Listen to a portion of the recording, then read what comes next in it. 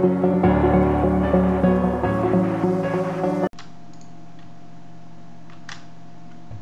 guys, uh, part 3 uh, how to create model on Odoo 12 so follow me. So this is uh, show you how to create model for uh, Linux and Windows. So this is for Linux and this is for Windows.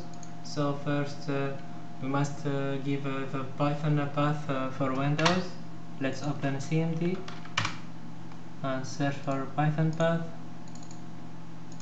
Go to your installation folder of Odoo 12 and go inside Python and this is the Python uh, .x. So let's copy this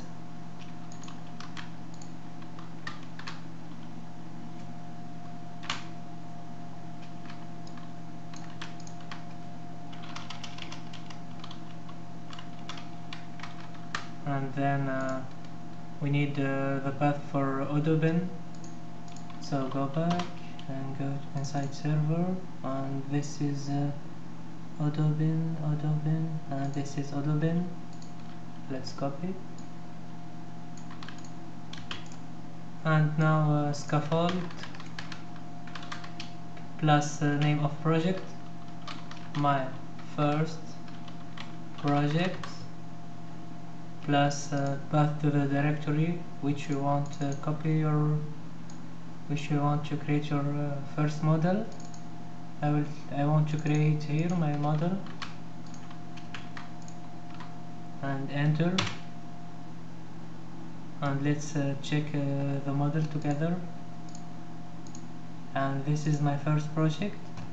So this is uh, for Windows. Python path uh, plus Odoo path plus scaffold name project plus path project. And for Linux path Odoo plus scaffold name project plus path project. So now let's uh, check uh, together uh, the model created. Let's restart our server. And refresh. So the name of the model is my first project so open debug mode and go to application. And update application list. And click on update. And let's uh, search for the model. My first. And this is the model my first project. Let's uh, for example add the description. Summary short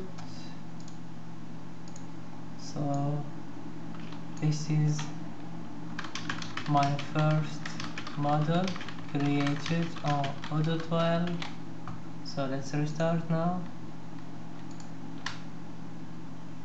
And let's install it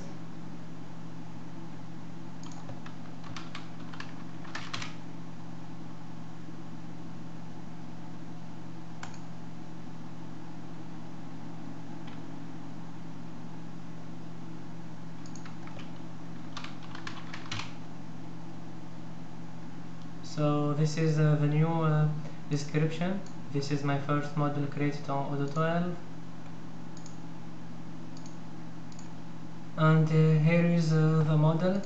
So this is, is how to create model on Odoo 12 uh, it is uh, the same thing like on Odoo 11 so see you on the next tutorial. Goodbye